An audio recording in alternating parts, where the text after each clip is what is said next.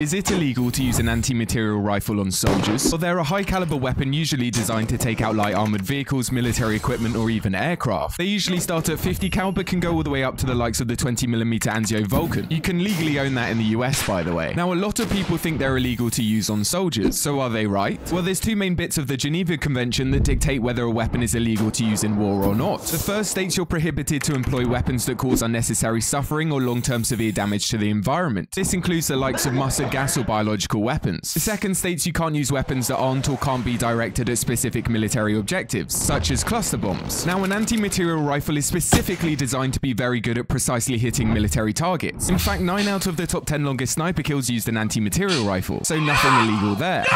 But does it cause unnecessary suffering? Well, first, when it's used on a person, it's designed to kill, not cause suffering. In fact, because it's more powerful and therefore more lethal than, say, a 7.62 weapon, you could argue it's less likely to cause suffering. God damn.